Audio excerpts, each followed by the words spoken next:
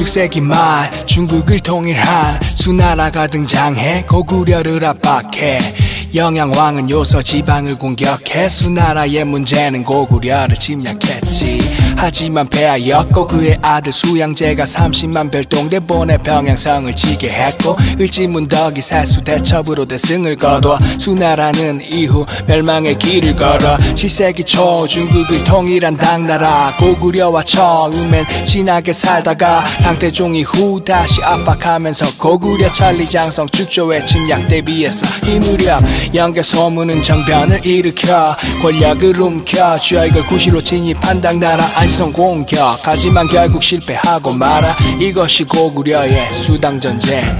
살수 대첩으로 수를 물리치고 안시성 싸움으로 당을 물리친 고구려.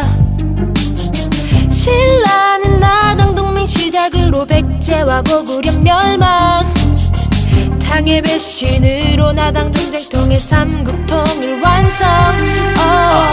신라의 삼국 통일은 아, 김춘추의 나당 동맹을 시작으로 김신 백제 개백에게 황산 버려서 승리 내게 되고 사비성을 함락 멸망시켰어 고구려 또한 영계 소문 죽음 이후 시작된 내부 분란 이를 틈타 공격하여 평양성을 함락 나라를 잃은 고구려 백제 사람들은 다시 협력 나라를 일으키려 노력했어.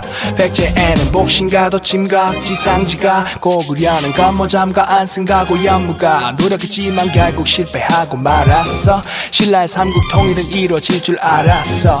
근데 이번엔 당나라 약속을 어겼고 한반도를 전부 다 통치하려고 해서 이에 맞서 고구려 붕 운동 지원한 신라 배송 싸움 기포부 싸움 승리하여 삼국 통일 이룩했어. 살수 대첩으로 수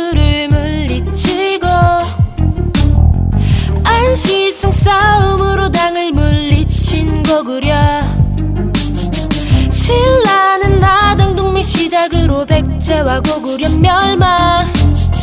당의 배신으